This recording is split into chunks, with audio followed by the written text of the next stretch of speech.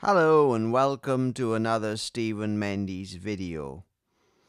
This is my second video on Mason's gain flow formula which is used with these signal graphs to find the transfer function.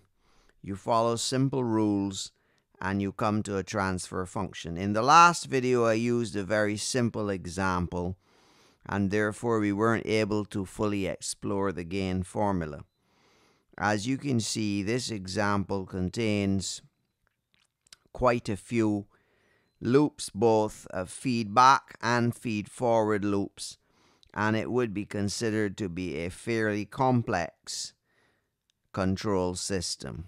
This graph would represent a significant complexity in the control system. So let us begin by finding the forward paths.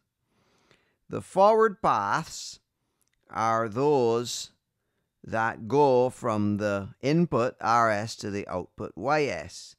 And we have listed three of them below, showing the various branches that we take to get there. There is the straight through branch, which is the first one that follows the straight line. And then there is another one that when it reaches this point, it goes up here and comes back down and comes out. So it bypasses G3 and G4. And then the third one comes along here and goes up here to G8, thereby bypassing one of the nodes. So there's the straight through, and then there's these two other bypass to give three possible forward paths to get from RS to YS. So then the next thing we need to do is find the feedback loops. So this is looking for the arrows going in the other direction from YS to RS. And the feedback loops are the simplest one being the one that's shown here where it just goes back. So it's basically only 2 minus h4 g4 that would be the simplest one.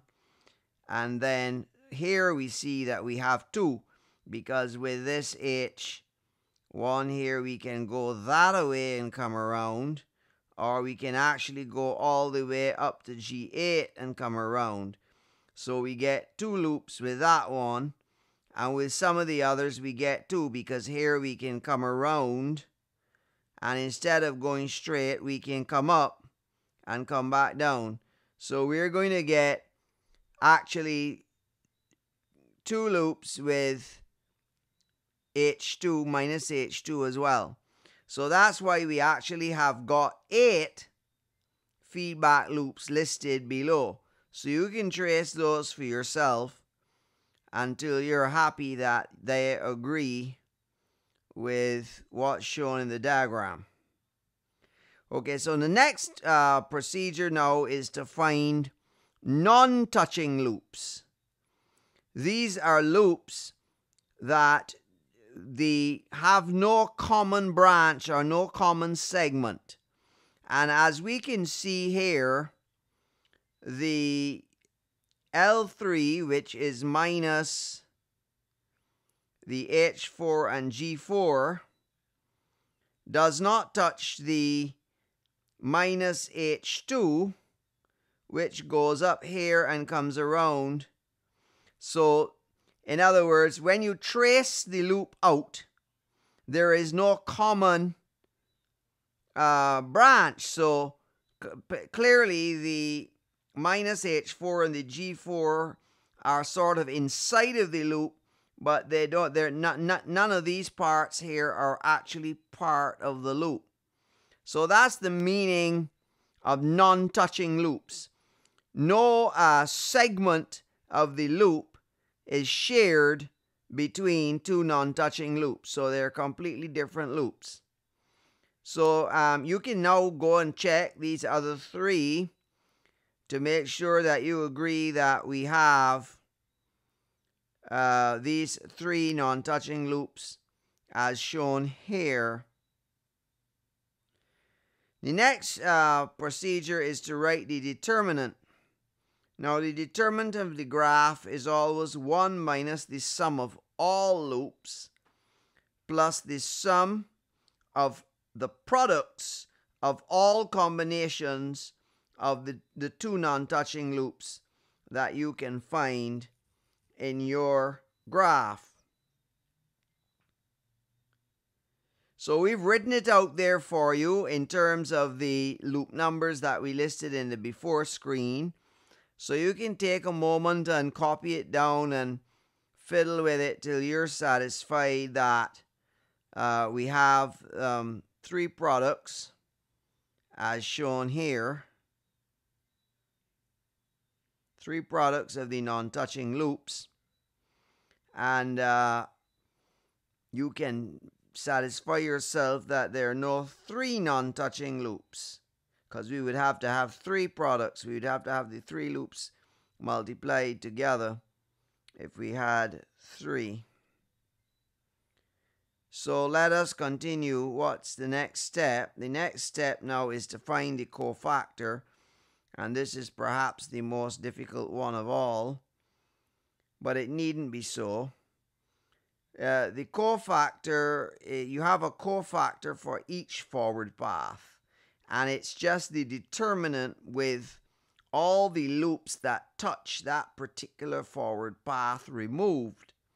So clearly, clearly for the first path, which goes straight through from RS to YS, all the loops are going to touch that. So, since all the loops touch that, when we remove them, what's left is just the one. So, the, the delta, the cofactor delta is only going to be 1 for loop 1 and for loop, sorry, for path 1 and for path 3. You can see that all of the loops touch path 1 and path 3. So when they're all removed, delta 1 and delta 3 will be simply 1. But for path 2, the L3 does not touch it. And as you can see once again, if we point it out up here so, the the path that goes above here and comes around completely escapes these uh, uh, branches inside here. So this loop actually does not touch this forward path. So for path forward 2, path 2 of the, of the forward uh, paths, this path in here, minus H4G4, does not touch it at all. So we have to write the delta 2 is 1 minus L3, or when it's expanded, 1 plus H4 G4. And the sign changes because the H4 G4 is negative anyway. So that's why we have to change the sign. All right, so we put it all together now, and we have path 1 plus path 2 times the cofactor, and then path 3. Remembering that path 1 has a cofactor 2, and path 3 has a cofactor, but it's eliminated from our expression because it's simply 1, and 1 multiplied by anything. So it would be really P1 cofactor 1, P2 cofactor 2, P3 cofactor 3 and then write over the whole determinant of the whole graph. So that's the shorthand way of writing it. Obviously, we could go back and substitute all of those longer expressions for P1, 2, and P3, and for the determinant. So thanks for watching the Stephen Mendes channel, and I hope this has helped you to be able to handle your signal flow graph to be able to find your transfer function no matter what signal flow graph you're given. See you in the next video.